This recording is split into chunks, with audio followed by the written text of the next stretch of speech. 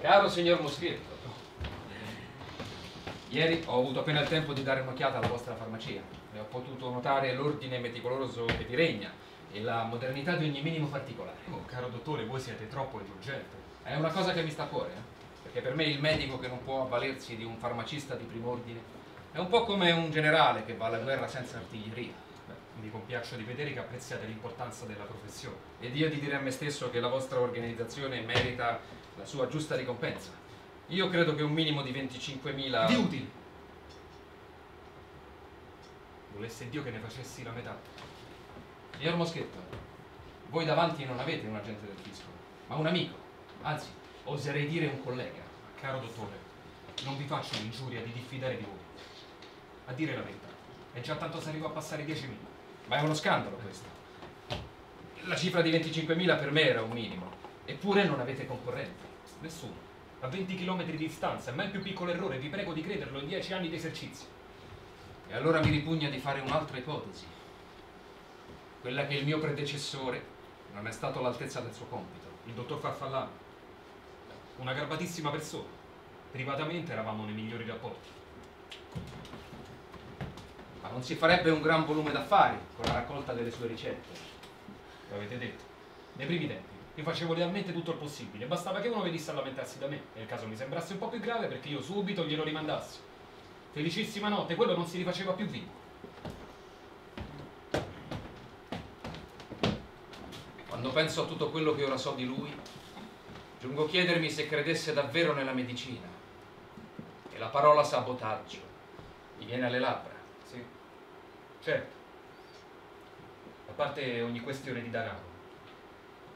Vi assicuro, dottore, che ci vuole una bella coscienza a lasciarsi cadere al di sotto dello stagnaglio e del pizzicagno. Mia moglie ci deve pensare dieci volte prima di comprarsi un cappellino, un paio di calze di seta, che la moglie del pizzicagno lo sfoggia tutti i santi giorni. Zitto, zitto amico mio, zitto che così mi fate del male. Vedete, io sono convinto che ogni abitante del nostro paese debba essere ipso facto un nostro cliente designato. Tutti. È pretendere troppo. Dico tutti. È vero che ognuno in vita sua può divenire da un momento all'altro nostro cliente occasionale. Occasionale. Niente affatto. Cliente regolare. Fe. De. Le. E bisognerà pure che si ammali. Ammalarsi. È una vecchia nozione che non regge più davanti ai dati della nuova scienza. La parola salute è un termine che potrebbe essere cancellato tranquillamente dal vocabolario, senza alcun inconveniente.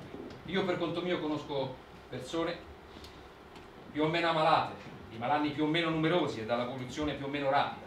Certo, se poi andate a dir loro che scoppiano di salute, non fanno altro che voler ascoltare queste vostre parole. Ma voi li ingannate.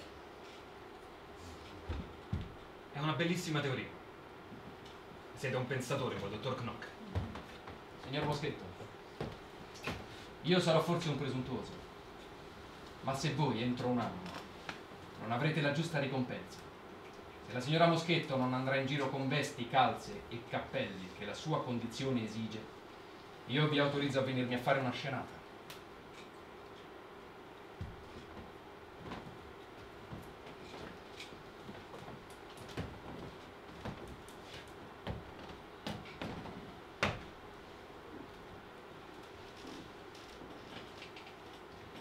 Caro dottore, sarei un ingrato se non vi ringraziassi con effusione.